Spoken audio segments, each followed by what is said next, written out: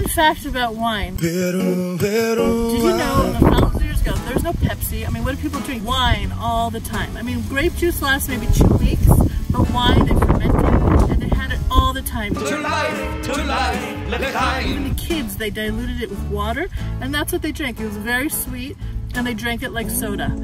Kids, adults, old people, wine was like life. Now we have sodas, but you know, back then, that's all we had. Kiddush, Havdalah, Kiddushin at a wedding. There's so many times that we use grapes, the wine that comes out of grapes. Why? Because it's the most important beverage and it it's really showing God that we appreciate all his blessings.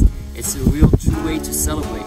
L'chaim v'levracha, may you all be blessed. L'chaim tovim, shalom for peace. L'chaim, may good things only just increase.